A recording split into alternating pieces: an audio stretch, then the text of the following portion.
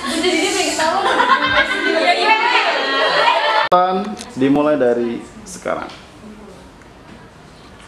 Assalamualaikum warahmatullahi wabarakatuh. Waalaikumsalam warahmatullahi wabarakatuh. Saya di sini ingin menceritakan tentang arti persahabatan saya. Pada hari itu kelompok kami atau atau sahabat kami disuruh membuat kelompok dengan Bu Indri tugas PPKN mengerjakannya di Petra. Kami bersembilan berdiskusi tentang integrasi militer yang disuruh yang disuruh oleh, oleh Bu Indri. Eh, kami di, di sana ada yang mengerjakan, ada yang bercerita, ada pula yang bermain HP. Di sana di, di tempat Air Petra juga banyak permainan. Kapal membuat kapal ini bukan produksi. Pada hari Minggu kami dan sahabat kami pergi ke pasar Senen naik kereta. Dan di sana banyak para pedagang di pasar Senen yang dagang secara emperan. Kami mencari buku bahasa Inggris yang disuruh oleh Mem Hikmah dan di sana banyak pula pedagang buku yang banyak tapi tidak ada buku yang kami cari. Dan akhirnya kami bermain panas-panasan di sana. Sehabis pulang dari pasar Senen, kami pergi ke rumah teman kami yang bernama Ibu Putri. Di sana saya istirahat sejenak dan kami pada hari itu jam 5 sore pulang ke rumah masing-masing. Sekian dari saya. Apabila ada kekurangan, mohon maafkan. Wabillahi taufiq wal hidayah. Wassalamualaikum warahmatullahi wabarakatuh. Waalaikumsalam. Oke? Sudah siap semua? Hai. Ini saya akan bercerita tentang salah satu murid di OTKP 1. Sebut saja namanya Oji. Ya, dia salah satu eh, satu-satunya bukan salah satu yang ada di OTKP 1 yang berjenis kelamin pria. Mudah-mudahan Oji panjang umur. Dientengkan jodohnya.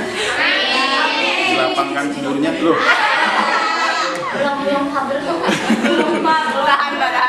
kita ulangi ya. Mudah-mudahan Oji selalu diberi kesehatan, panjang umur, dientengkan jodohnya. Jika dia masih jauh dekatkan ya Allah. Jika dia masih lama segerakan ya Allah. Jika masih di langit turunkan ya Allah. Ya belum brocur. Jika dia sudah mati bangkitkan ya Allah.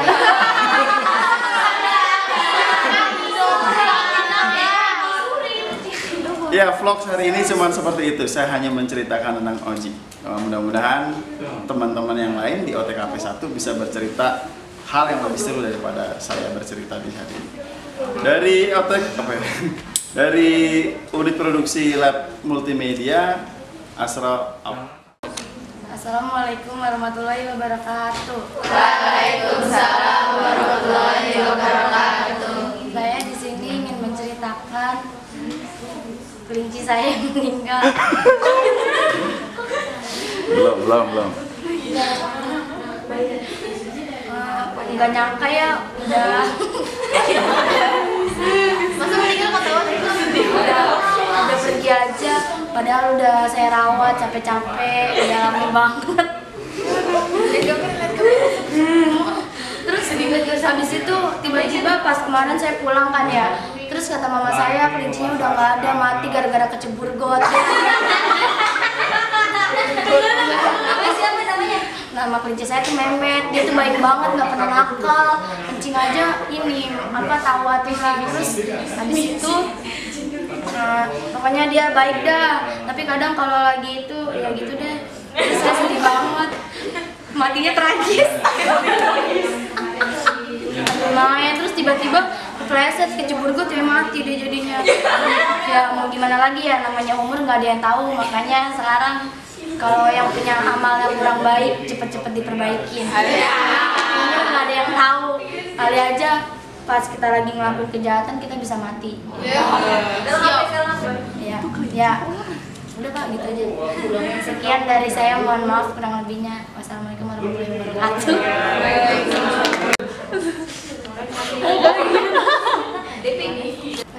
Assalamualaikum warahmatullahi wabarakatuh. Waalaikumsalam warahmatullahi wabarakatuh. Nah, di sini saya mau cerita tentang pengalaman saya mengikuti acara pramuka yaitu Caba Calon Bantara.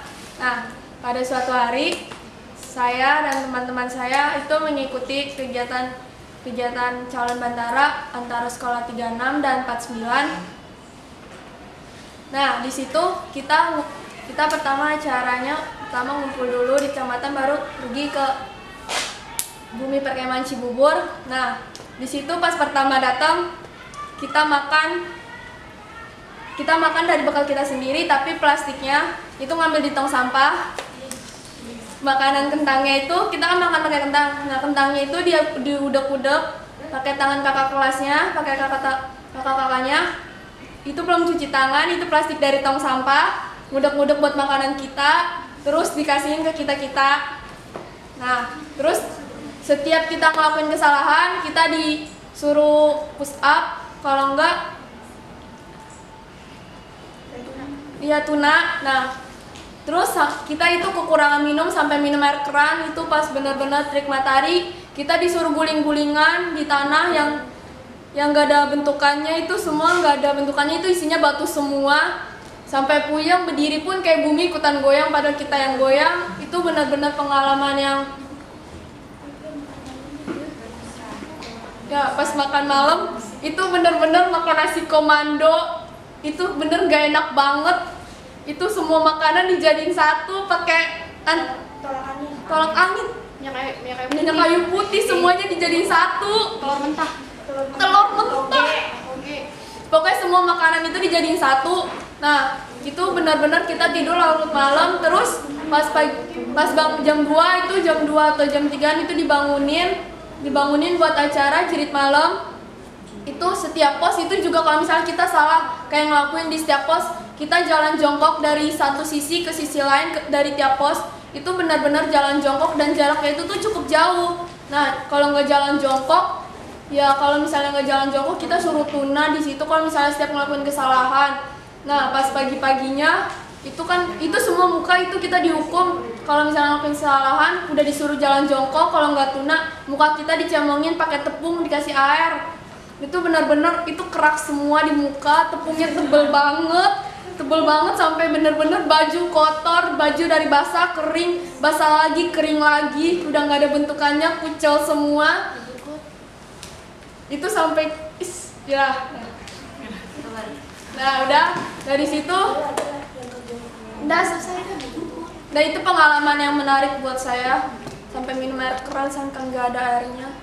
Makasih. Wassalamualaikum warahmatullahi wabarakatuh.